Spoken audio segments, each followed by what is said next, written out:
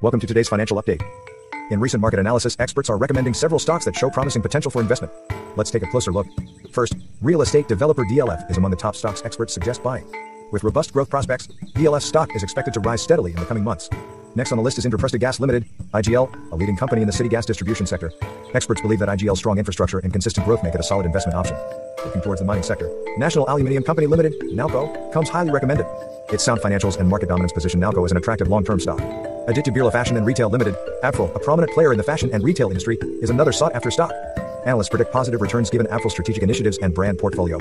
VIP Industries, a market leader in luggage and travel accessories, is also a recommended stock pick. Its extensive distribution network and innovative product range make VIP Industries a lucrative investment choice. Lastly, experts suggest considering SJVN, a hydroelectric power generation company, as it presents significant growth opportunities. SJVN's consistent performance and expansion plans contribute to its investment appeal. As always, it is essential to conduct thorough research and consult with a financial advisor before making any investment decisions.